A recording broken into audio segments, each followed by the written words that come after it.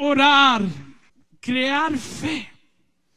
Lee la Biblia, mi querido hermano, tú que, que eras huraño a la palabra de Dios o, vivías lejos de la palabra de Dios o quizás, mi querido hermano, la, la- la tenías en, en tu casa ahí colectando polvo, o quizás como un adorno en tu casa, o quizás como un reguardo abierta en el Salmo 91. ¿Lo sabes que, mi querido hermano? Como yo siempre digo, no es palabra de Dios hasta que no salga de la tinta y penetre en lo más profundo de tu corazón. La fe viene por el oír, dice Romanos 10, 17, y la palabra de nuestro Señor Jesucristo. La palabra de Dios, mi querido hermano. Leer la Biblia, leer la palabra, en- en- entrar en las promesas de Dios. Esa, esa palabra, mi querido hermano, te va a dar seguridad, te va a dar certeza, va a alimentar al espíritu tuyo. Necesitamos crear seguridad, certeza. Algunas personas me dicen, hermano Niri, ¿cuándo sé yo que, que ya tengo la fe suficiente para, para mover esta montaña de mi vida? Cuando ya no tengas miedo, cuando ya no exista ninguna duda, ninguna inseguridad, ninguna incertidumbre. Cuando estés lleno de paz y cuando tengas la seguridad de que, que vas a recibir, que eso es alcanzable, que eso es tocable y de que vas a recibir eso que estás esperando, entonces ya sabes, mi querido hermano, que tú tienes la fe suficiente para mover esa montaña. Entonces, mi querido hermano, ahora se lo pides a Dios. Y con cuidado, ten cuidado cómo se lo pides a Dios.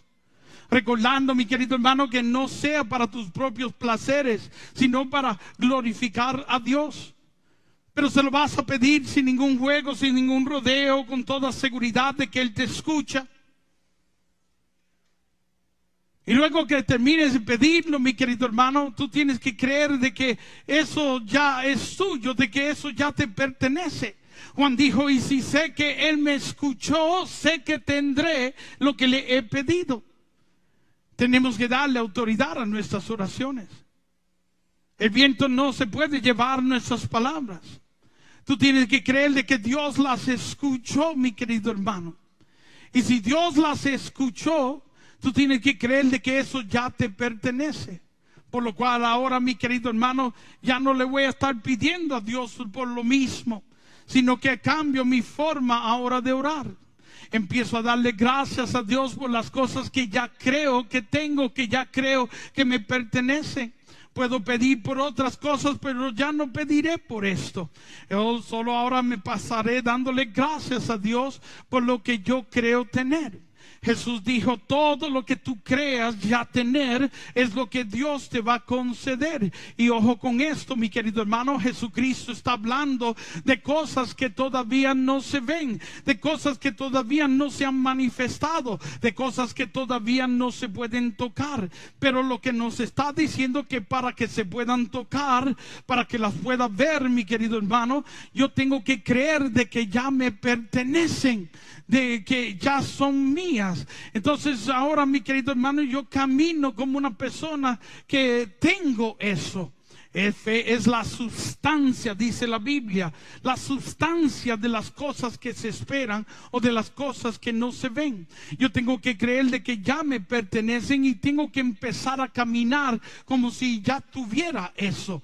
Eso requiere una disciplina muy grande, mi querido hermano, y eso requiere también uno tener un, pues un cuero fuerte, ¿verdad? Un pellejo fuerte, porque mi querido hermano serás atacado por todas partes. Vendrán personas a decirte que tú eres un fanático, que estás haciendo ridículo. Personas que están, te, te dirán, aterriza esa fe. Eso así no es. ¿Sabes qué, mi querido hermano? Estas cosas son espirituales. Hoy hablaba con mi hermano Alejandro y decía que no todo el mundo entiende estas cosas. La Biblia dice que estas cosas son espirituales y que solo se pueden discernir en el espíritu. Aquel que no está en el espíritu, lo que hablo son puras locuras. Pero para ustedes que están conmigo en el espíritu, alaban y glorifican a Dios por su grandeza, porque el espíritu se las da a entender.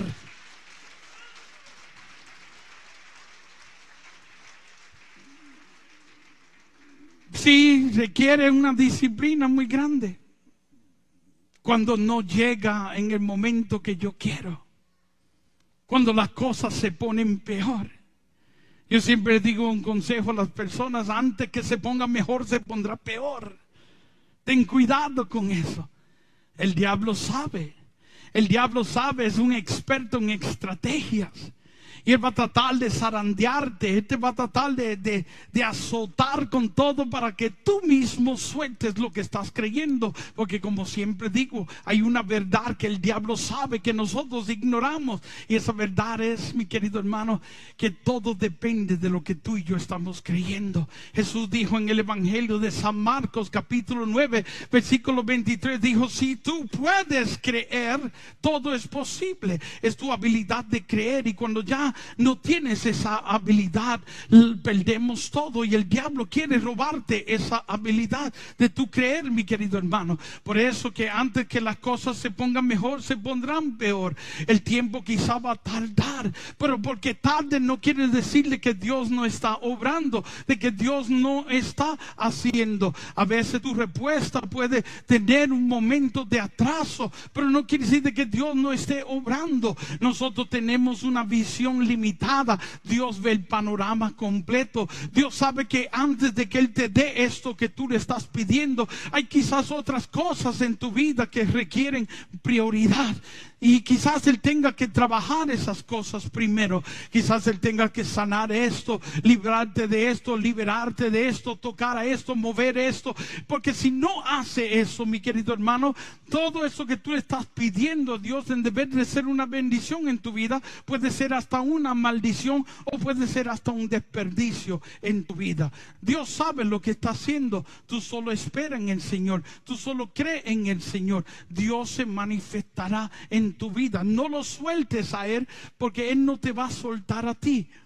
Él no te va a soltar a ti. Necesitamos aprender a mantenernos firmes en las cosas que estamos creyendo. Pase lo que pase, venga lo que venga. Entonces, mi querido hermano, resistan al diablo.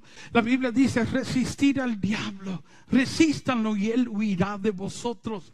No le den lugar al diablo en este año, mi querido hermano. Demasiado, demasiado le dimos en este año. No se la demos en este nuevo año. No le des oportunidad al diablo para que entre a tu vida, para que entre a tu matrimonio, para que entre a tu familia, para que entre a tus negocios. No permita, ciérrale todas las puertas que tienes abiertas al diablo para que él no tenga entrada a tu vida, mi querido hermano. Sí, en el Padre nuestro, cuando lo estés orando, dos veces, dos veces Jesucristo nos advierte y nos dice que le pidamos al Padre, primero que no nos deje caer en tentación y que nos libere de todo mal. El mal siempre estará presente, mi querido hermano, pero solo tiene poder, tiene poder limitado. Y ese poder que tiene, mi querido hermano, es el que nosotros mismos le damos. Pero si nosotros le quitamos el poder, si le cerramos todas las puertas a nuestras vidas y a nuestras cosas, Él no puede entrar a nosotros. Una de las puertas que tenemos que cerrar en este año es el miedo, es el temor. Job decía estas palabras que muchos no, no quizás no ni se recuerdan porque no han leído la historia completa, pero todo lo que le pasó a Job, él una vez creía de que eso podía pasarle. Él decía, lo más que yo temía ha venido sobre mí. Lo que quería decir que en algún momento él tenía miedo de que podía perderlo todo. Esos miedos son puertas que nosotros tenemos abiertas para el diablo pueda entrar y pueda tocarnos. Esas puertas tienen que ser cerradas. Nuestra confianza está en Dios. Tenemos que creer y esperar en Dios y creer, mi querido hermano, que ninguna arma que se levante con nosotros va a prosperar. Creer que la guerra, la batalla no es nuestra, sino de Dios, mi querido hermano. Dios peleará por nosotros.